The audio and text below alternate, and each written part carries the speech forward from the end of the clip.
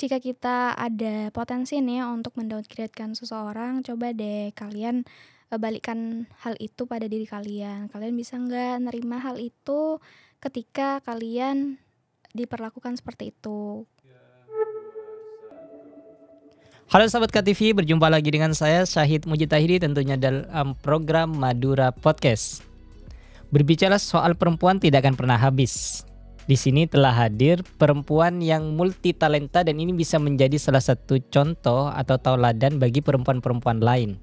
Karena prestasinya yang sangat banyak sekali di bidangnya, baik itu dari prestasi kesenian bahkan bisa tingkat Jawa Timur, ada yang dari sisi konten kreator seperti menjadi juara favorit Madura United Vlog Competition 2023 yang diselenggarakan oleh KTV sendiri dan juga ad, pernah menjadi duta kampus tahun 2021 bahkan juga pernah menjadi Putri Batik Pamekasan 2018 dan banyak lagi prestasi-prestasi yang lain yang pernah diukir bahkan juga sering menjadi pembicara, menjadi MC, menjadi moderator. Kiki apa kabar Ki? Alhamdulillah baik. Baik. Panggilannya Kiki emang nih atau Iya, ada panggilan lain selain Kiki? Biasanya kan ada nama yang panggilannya nggak sama dengan namanya. Kiki aja sih. Kiki aja. Kayak nama-nama di Facebook aja ya, ada Kiki aja, Kiki. Oke. Sekarang apa nih kesibukannya Kiki sekarang? Untuk saat ini masih ini sih dalam pencarian pekerjaan kan tadi udah beres training kemarin di salah satu apa ya klinik kecantikan gitu di Indonesia. Oh, dan sudah diterima, udah. Iya sudah diterima, udah training juga, cuman tinggal persiapan untuk mau grand opening di Kabupaten Pamekasan. Oh iya, dan udah lulus juga kuliahnya atau belum? Udah udah lulus dan masih apa ya? Tinggal nunggu wisuda sih. Tinggal nunggu Iya, wisuda. bulan depan nih. Berarti bulan depan lempar-lempar ini. Toga. Betul ya. Oh ya Kim, sebenarnya dari sekian banyak yang dilalui ini, ikut lomba ataupun juga jadi pembicara apa segala macam, itu emang dari awal konsennya di situ atau seperti apa sejak kapan? Sebenarnya enggak sih. Eh, kebetulan pas untuk masuk ke dunia perkuliahan itu masih bimbang mau kuliah atau mau kerja kan. Nah itu nggak tahu tiba-tiba aja masuk eh, kampus itu. Oh berarti sorry, berarti ketika lulus SMA Ya. itu masih bimbang antara kerja atau Iya, kuliah? benar, Oh, benar iya. banget.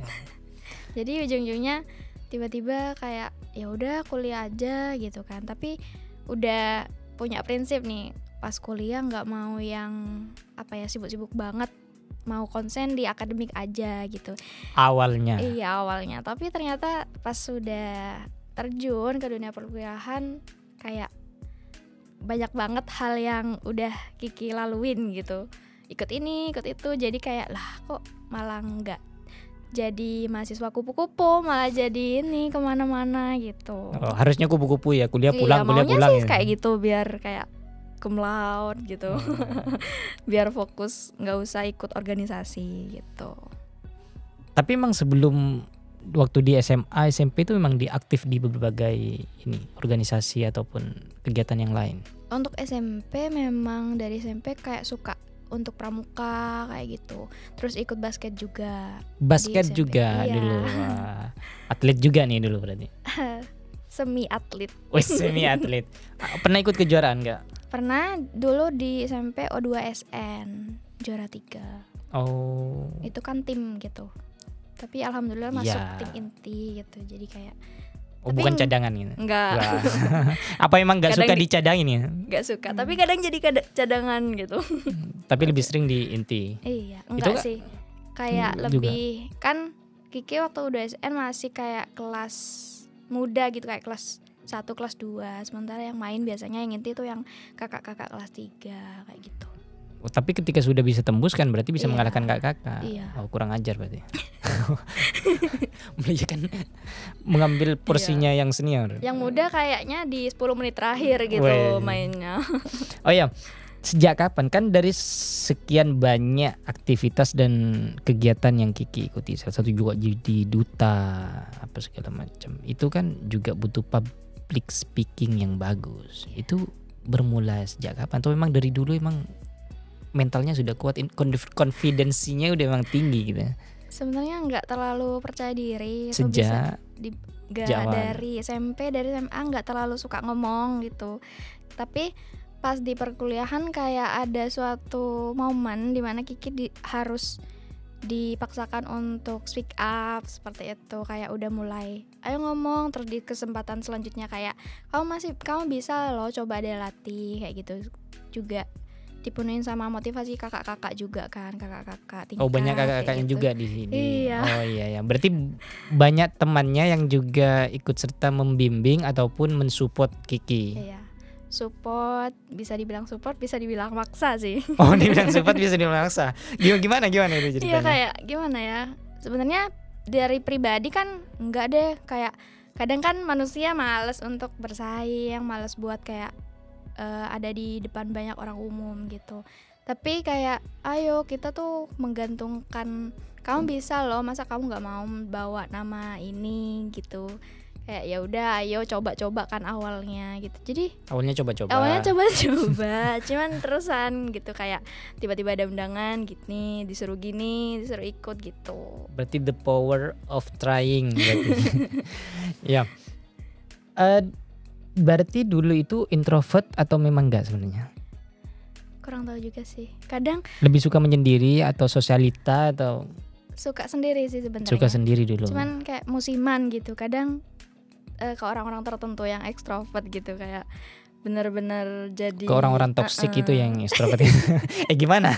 bisa dibilang toxic sih Oh, Iya iya iya.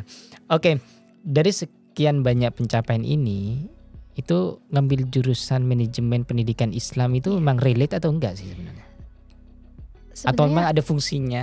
Ada hal yang diambil dari beberapa kesibukan Kiki atau memang sebenarnya gini kak pas awal Kiki merasa kayak ya udahlah ambil jurusan ini gitu sebenarnya di dalamnya nggak tahu ngapain gitu kan tapi seiring berjalannya waktu tuh kayak di manajemen pendidikan Islam itu ada kayak nggak bukan suatu materi cuman kayak ada event atau apa ya event-event di internal juga yang bikin Kiki tuh belajar tentang public speaking kayak gimana memanage suatu acara kayak gitu. Jadi kerjanya juga ada yang ngomong gitu kebanyakan ngomong. Kayak ada ada acara seminar mini butuh dinamisator kayak gitu kan. Nyoba lah gitu disuruh-suruh. Pas tahun depannya dipakai lagi dia terus keterusan jadi MC gitu kan oh dari berawal dipakai sebagai dinamisator habis itu Iya. bisa MC apa segala Iya, macam banyak iya. ya. terus ya Kegiatan tersebut itu kan juga pilihan, bukan buru-buru Kiki tiba-tiba langsung sibuk di hal Iya. kayak gitu gitu. Kenapa memilih di kesibukan? karena sebenarnya apa ya Karena dipaksa kakak. Nyari kesibukan Iya. aja sih sebenarnya awalnya dipakai Kesibukannya lain banyak. iya sih cuman yang Ngulungin eh, botol aqua juga kesibukan kok. Ya, sebenarnya kayak eh, disuruh juga kan awalnya cuman Kiki makin ke sini kayak ada suatu hal tertentu yang bikin Kiki kayak aku kayaknya harus nyari kesibukan gitu yang bener-bener sibuk yang pulang ke rumah cuman numpang tidur gitu kayak gitu jadi ya udah diambil ngin diambil Impian awalnya kan pengen gitu. kupu-kupu emang. iya Kok sekarang tiba-tiba langsung berubah? Nah itu karena covid sih Karena covid kan kita jadi kayak nggak ada kegiatan apa pun Terus kayak ada masalah gitu Jadi pas eh, mulai new normal Kiki kayak mulai ngambil lagi Kayaknya aku harus sibuk nih Aku mau lupain masalah ini misalkan kayak gitu Jadi larinya ke situ Kayak ikut kepanitiaan Oh, berarti job kesibukan sejauh ini itu hanya sebatas pelarian awalnya. Iya awalnya Apa sampai sekarang? Hanya Enggak sebatas sih. pelarian. Ketika ada masalah, oh saya cari kesibukan aja nih gitu. Tapi walaupun hanya sebatas pelarian waktu itu, tapi bisa sampai berjenjang itu, sampai banyak Iya. juga ya Iya. prestasinya. Kok bisa seperti itu? Padahal cuma pelarian kan? Iya juga mikir sih kalau flashback dari sebelumnya lah aku kan pas SMA aktifnya nggak kayak gini malah di sekarang malah di bidang kayak gini gitu kadang juga sempet kayak kehilangan jati diri gitu bingung bingung loh kok aku sekarang kerjaannya ngomong gitu padahal kan dulu kayak deg-degan tiap disuruh ngomong tuh kayak aduh harus latihan sebelumnya tiga hari sebelumnya kayak gitu. Jadi kadang juga nerima job tuh deg-degan duluan karena takut nggak sesuai ekspektasi kan. Orangnya tuh ngundang percaya gitu. Tapi takut ngebawainnya tuh kurang materi kurang wawasan juga gitu. Takut miskom takut marah marah jadi acak-acakan gitu. Tapi menikmati ya, menikmati. Walaupun hanya pelarian. iya. Oh berarti tidak semuanya pelarian itu tidak bisa dinikmati. iya benar. Oke. Berbicara soal kesibukan tersebut, apa nih sebenarnya yang ingin dituju oleh Kiki ketika sudah melalui sampai titik sekarang? Gak ada sih mau pengen tenang aja sih sebenarnya. Lu kalau sibuk kan nggak tenang Ki. enggak tenang pikiran kan. Oh, tenang kan kalau tubuh capek tuh karena kerjaan jadi kan gak ada waktu buat mikirin hal yang gak ngenakin gitu. Jadi lebih tenang aja sih aku bisa mengalihkan hal itu gitu lewat raga Oh, memang jadi jiwa saya, tenang gitu. Saya melihat ini kayaknya memang suka pengalihan-pengalihan semua ya. Iya iya iya. Asalkan tapi pengalihan tersebut ke arah yang positif. iya benar Ke arah yang positif. Sebenarnya ke depan pengen beraktivitas di apa? Ke depannya. ke depannya Atau ada hal yang ingin ditarget saya di posisi di usia sekian harus sudah seperti ini, di usia sekian harus seperti ini. Atau emang tidak punya kayak gitu, ngalir aja.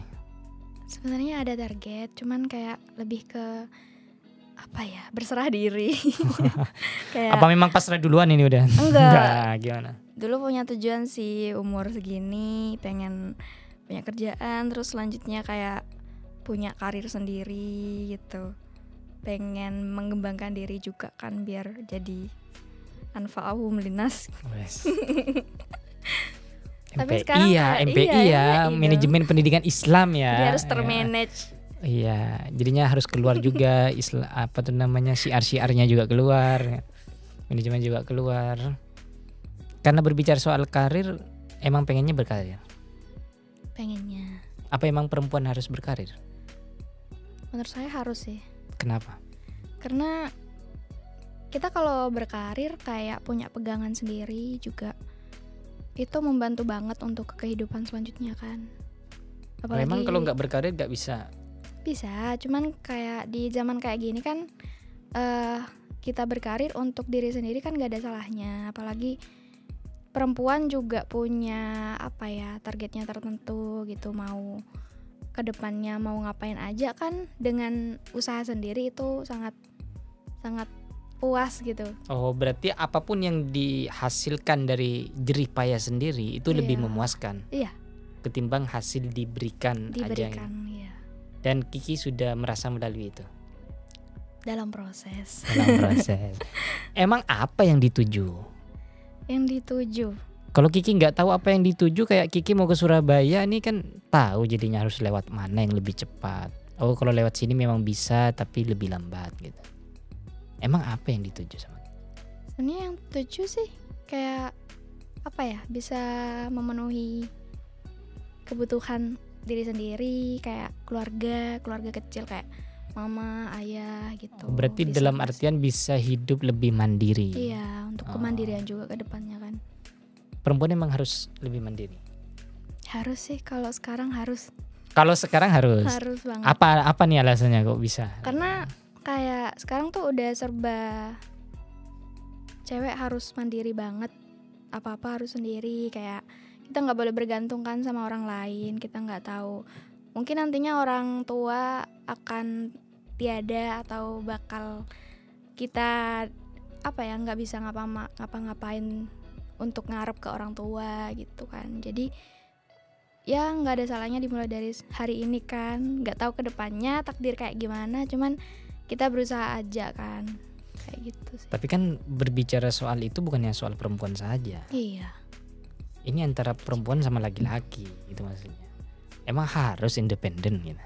Independen Harus dalam artian mandiri gitu maksudnya, Iya. bukan independen dalam artian hidup sendiri saja gitu. iya bener nggak nggak salah nggak ada salahnya kan nanti kalau berkeluarga kan kita juga masih bisa untuk kayak buka usaha kecil-kecilan itu kan juga termasuk kemandirian ya seenggaknya perempuan punya pegangan sendiri atas usahanya sendiri gitu Berarti perempuan di mata Kiki itu tidak hanya sebatas stereotip yang mengatakan sumur, dapur dan kasur Yo, itu. iya. Ya.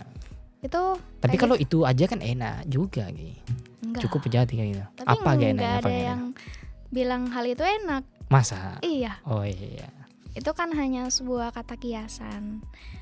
Apalagi di zaman ini hal itu tuh sensitif banget diutarain untuk perempuan karena kita seolah-olah apa ya disudutkan pada hal yang kurang gimana gitu. Domestik saja iya. gitu.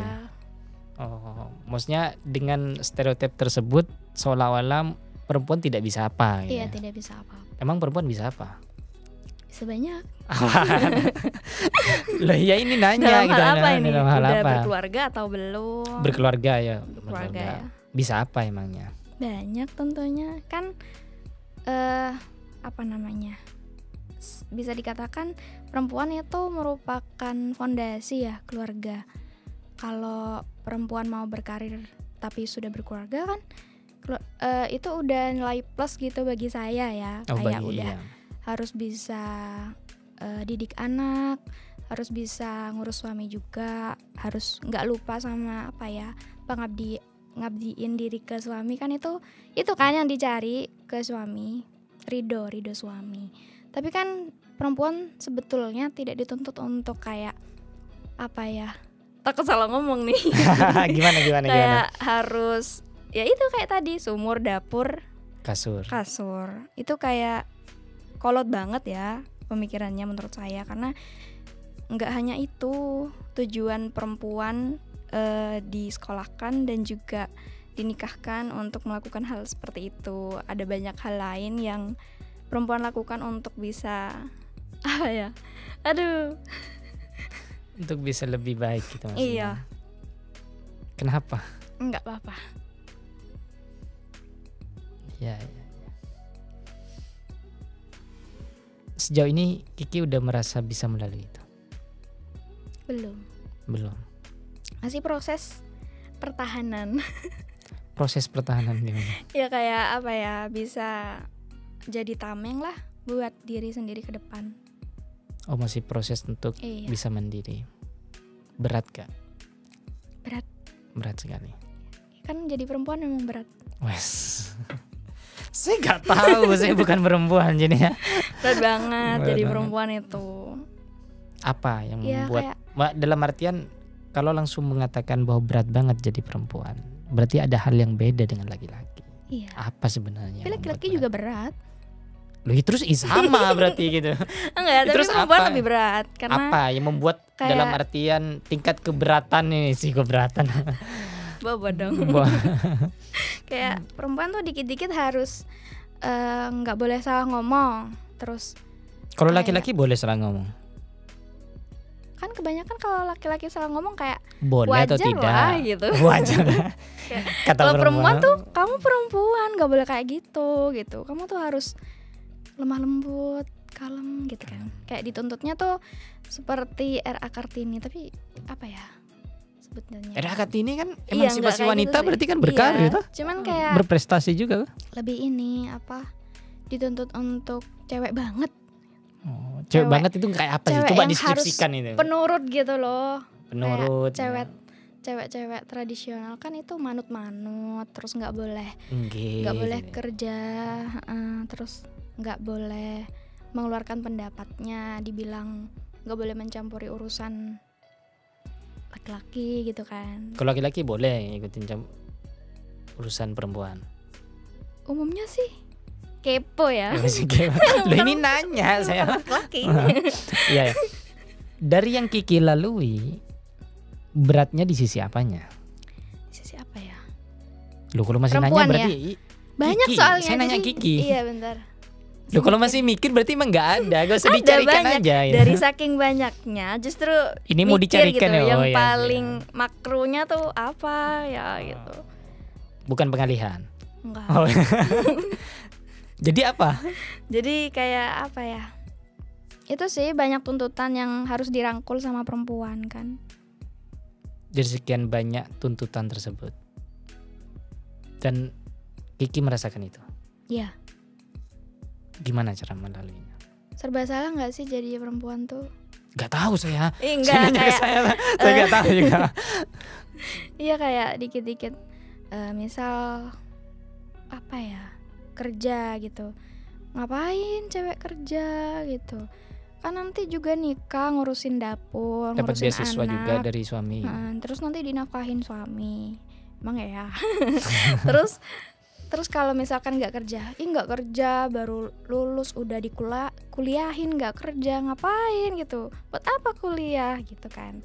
Terus kalau misalkan belum punya anak nih ke mana kok bisa nggak punya anak gitu kan terus kalau udah punya anak masih umur segitu punya anak kayak gitu kan misalnya kayak serba salah gitu jadi perempuan mau jadi kayak gimana gitu sebaik-baik perempuan itu kan sekarang standar apa ya kesempurnaan perempuan tuh kayak ada di mata netizen gitu Anak digital banget ini. ah, digital Hmm, banget ini. ya sampai sakit banget Jadinya ukurannya sekarang bukan masyarakat, Hmm, tapi netizen gitu. iya Ya. benar masyarakat sih Iya kan barusan netizen. Belum tentu karena netizen itu belum tentu masyarakat. karena bisa aja robot gitu. iya bot Akun-akun robot. otomatis gitu hujatannya. Iya. Terus yang dilalui Kiki merasa itu perempuan serba salah. iya Apa memang kayak gitu sudah kalau jadi perempuan? Tidak bisa emang tidak serba salah.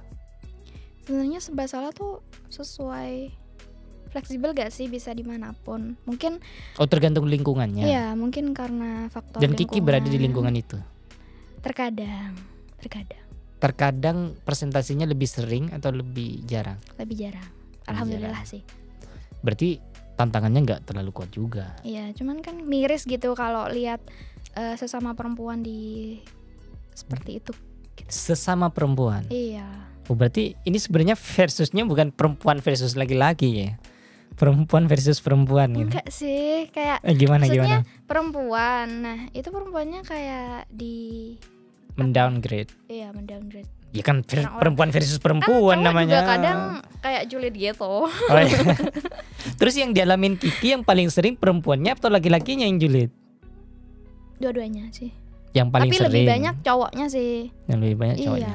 Apa biasanya dari sisi apa biasanya? Apa ya? Ya, gak tahu saya. kayak kemarin aja sih eh misal nih kita kayak ikut suatu apa lomba kayak kemarin kan Kiki di duta kampus kayak cowok kan padahal cowok nih. Udah diem nih nggak ngomong apa pun dateng set. Oh jadi finalis ya finalis duta kampus. Dan kok ya iyalah kamu orang modal anu doang gitu. Modal cantik doang modal fisik gitu.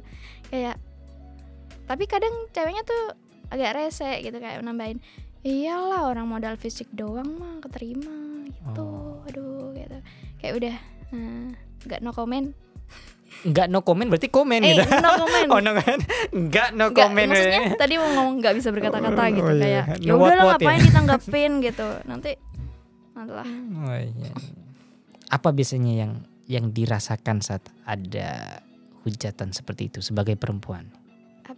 Ya kayak merasa Perempuan yang mendapat perlakuan dari perempuan yang tidak mengenakan. Harusnya kan di pandangan saya, ya perempuan harus menjadi penguat perempuan. sport woman sport woman Iya, woman sport tapi itu woman. tidak Tidak yang dia.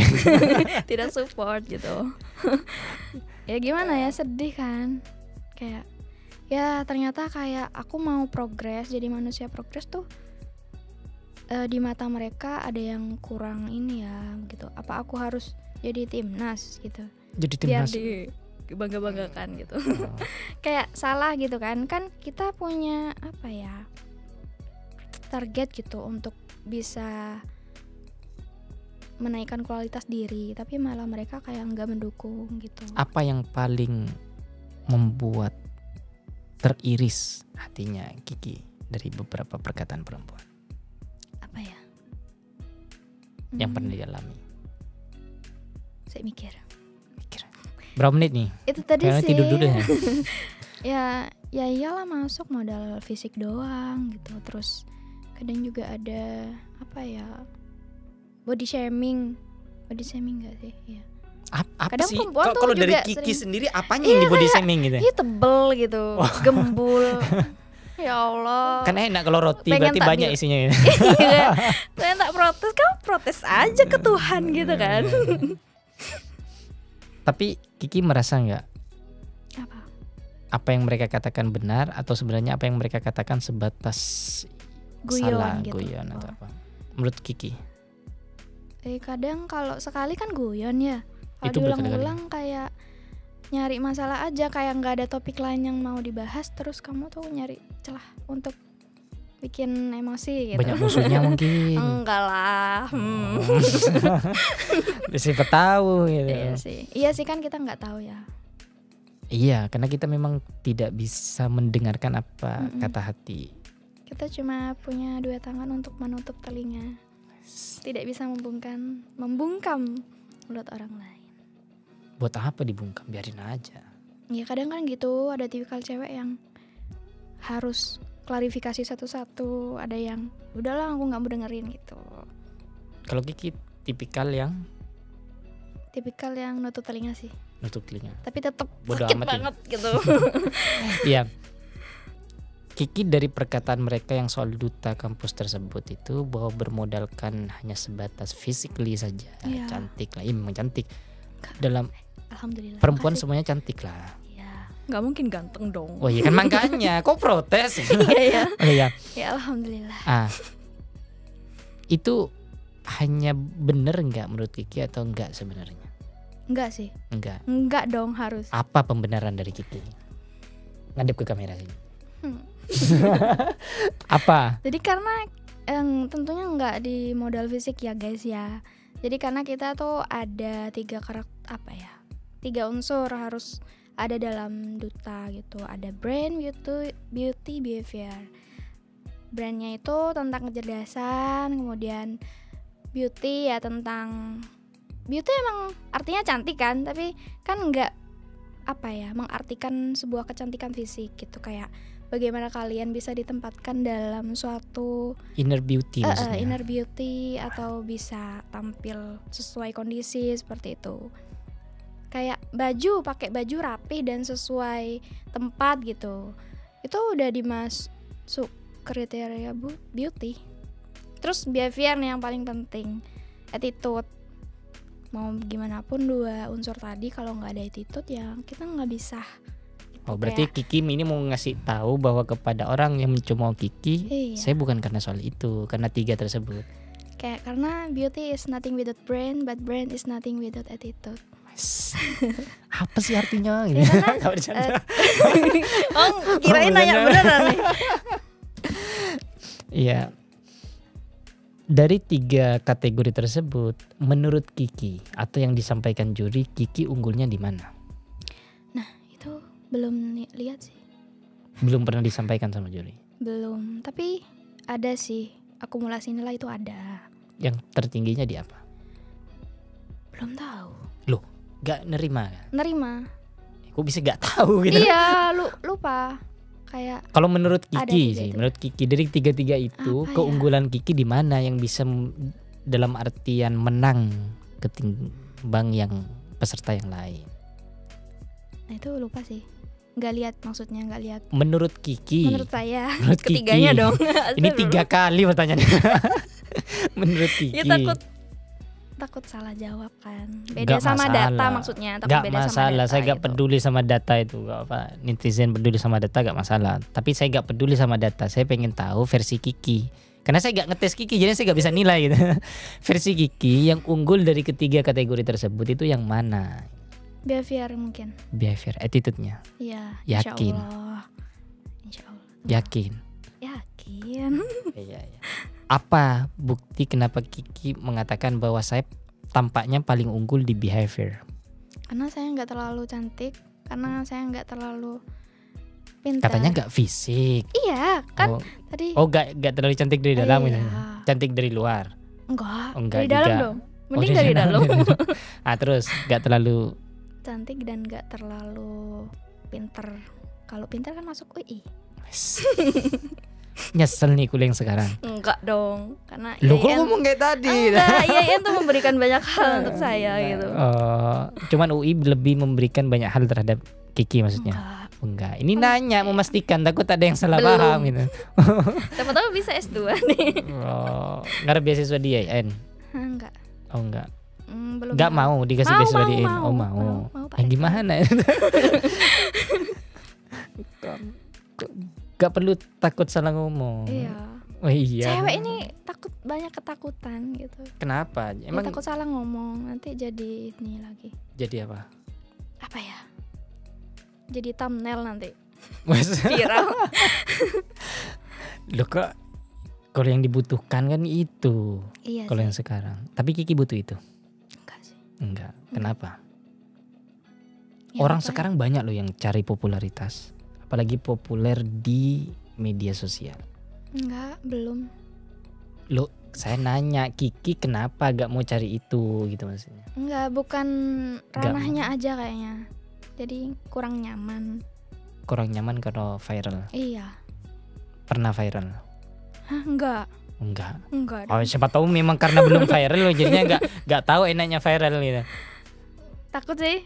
Tak- ap- Apa yang ditakutkan? Enggak takut. Takut. Iya apa yang ditakutkan? takut tidak bisa memberikan contoh yang baik gitu. Oh, iya. terus jadi nggak enak kan ke mana-mana kalau viral kayak diintilin gitu. Terus Sekarang nggak diintilin. diintilin sih. Hah? Hmm ya. Lu kok, kok jadi jadi ya. Berarti setiap orang nih sahabat KTV setiap orang itu punya pilihan hidupnya masing-masing punya karakter masing-masing dan punya kesibukan masing-masing dan punya kecenderungan masing-masing. Jadi kita tidak bisa memaksakan orang lain sama dengan kecenderungan kita. Nah itu juga. Dan kita terkadang memang tidak bisa untuk menjadi orang lain. Nah terakhir nih dari Kiki apa yang ingin disampaikan terhadap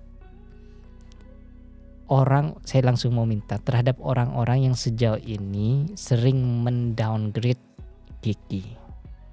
Eh, lebih ini sih lebih punya respect sama orang lain kalau ketik mungkin kita belum tahu rasanya di posisi yang kita di downgrade kan oleh seseorang tapi jika kita ada potensi nih untuk mendowngradekan seseorang coba deh kalian balikkan hal itu pada diri kalian. Kalian bisa nggak nerima hal itu ketika kalian diperlakukan seperti itu? Karena itu akan sangat menyakitkan. Jadi eh, lebih diperlebar lagi respeknya terhadap orang lain. Kita sesama perempuan ataupun para laki-laki juga nggak sepantasnya untuk merendahkan atau seperti apa ya mencaci seseorang bahwa kita bahkan kita belum tahu kan apa yang sudah dilewati orang tersebut apa yang sudah dikorbankan seperti itu jadi lebih respect lagi ya